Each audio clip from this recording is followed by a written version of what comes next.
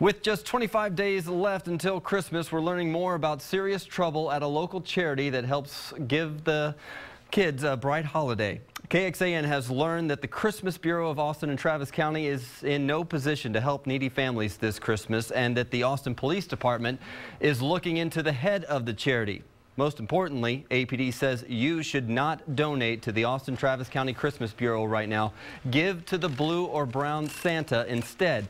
Our lead investigator, Chris Willis, has details. When you serve as president of a nonprofit, it's critical to get the tax returns in. When it comes to the Christmas Bureau of Austin Travis County, Clift Bowman is an expert. He ran the nonprofit for 15 years, ending in 2009. This year, the concerns grew early. If the Christmas Bureau is just getting started now, can they possibly help out those 6,000 plus or minus families? We're in a tough spot. You know, uh, the Christmas Bureau has been there, and for some reason, something's going on there. I'm not sure what it is. Today, Police Chief Art Acevedo voiced his concerns about the nonprofit, promising a full investigation into the president, Sean Washington, and the finances of the organization. The chief says Washington has dropped off the face of the earth and left thousands of kids in limbo. The money that we usually have to, to start up is, is, is, is, is nothing. But KXAN spoke with Sean Washington Tuesday.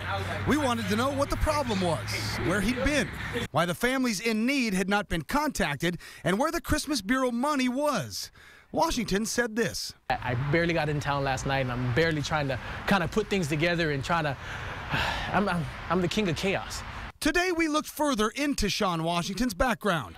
He says he's been out of town on a family emergency, but we found out he's also been in jail, arrested in August at a strip club on outstanding warrants, arguing with cops. When they searched him, police found the Christmas Bureau president of Austin with two baggies of methamphetamines in his pocket, a state jail felony that landed him 30 days behind bars, surprising to those who worked with him. Sean Washington was there in 2009, 2010. Great personality, uh, very genuine person, a Christian man, had a heart of gold.